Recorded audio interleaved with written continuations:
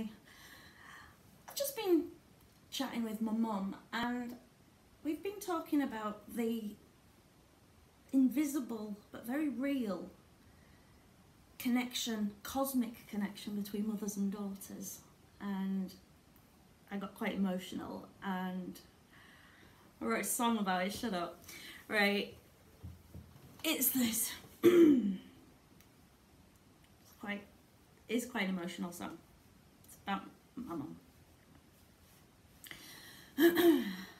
Girls, we only want to have fun. Why? Because we got a front bum. You, you got that from your mum. Does your front bum look like your mum's?